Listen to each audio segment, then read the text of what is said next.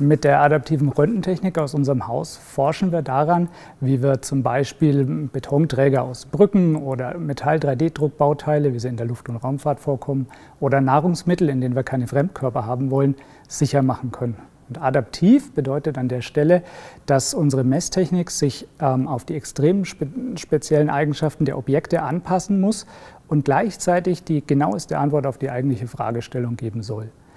Das erreichen wir zum einen dadurch, dass wir einen spezialisierten Maschinenbau einsetzen. Ähm, zum anderen brauchen wir aber Computeralgorithmen, die Intelligenz in die Maschine bringen. Und erst beide Komponenten zusammen ergeben ein System, das sich auf Fragestellung und Objekt ähm, anpasst und so sich adaptiert auch während einer Messung.